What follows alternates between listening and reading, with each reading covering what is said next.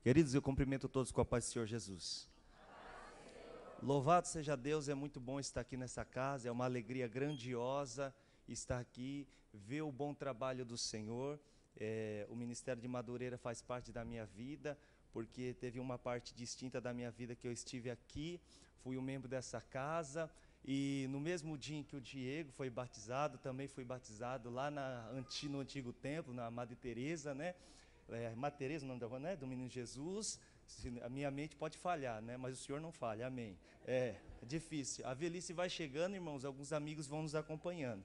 Mas estou muito feliz, vejo amigos maravilhosos que estão aqui, desde o pastor Napoleão, que é uma referência para nós dentro do campo do ensino, é, dentro da referência pastoral, muitos amigos aqui dentro, Lala está aí, né? Está aí, não sei onde ele está, mas sei que ele está aí. Deus abençoe. Olha lá, lá, Laércio, Deus abençoe. Em nome do Senhor Jesus, nosso irmão, o pastor Val, também está aqui, Lucas, família.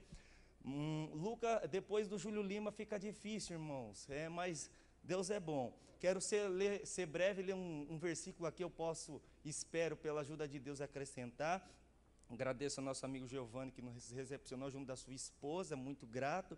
O Salmo 23, no versículo 1, você conhece, talvez fica fácil só você ouvir. Diz assim: Veja, o Senhor é meu pastor e nada me faltará.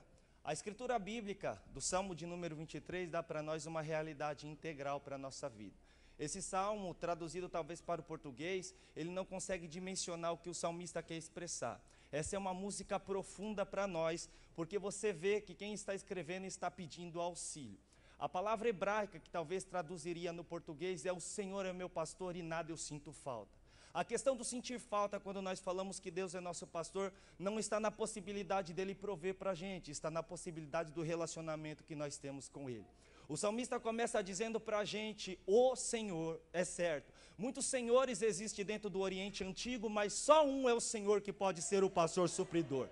E se Ele for o pastor supridor de nossa vida, nada nós teremos falta. O primeiro conselho para todos que estão aqui dentro desta casa esta noite: se Deus for o pastor da sua vida, você não sentirá falta de nada. Pode ser o forte vendaval que vem contra você, todo cheio de chagas, no meio da pobreza, como Jó, você sabe que o Senhor estará com você.